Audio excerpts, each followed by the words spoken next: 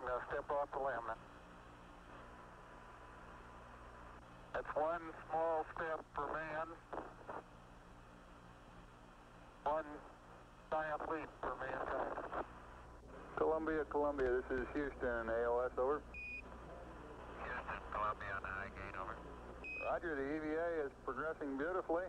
They're setting up the flag now. I guess you're about the only person around that doesn't have TV coverage of the scene. That's all right, bit. They've got the flag up now, and you can see the stars and stripes on the lunar surface. now, and you can see the stars and Are you getting a TV picture now, Houston? Neil, yes, we are getting a TV picture. You're in our field of view now. I'd like to evaluate the uh, various paces that a person can traveling on the lunar surface.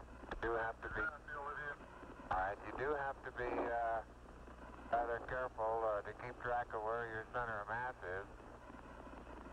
Sometimes it takes about two or three spaces to uh, make sure that uh, you've got your feet underneath you.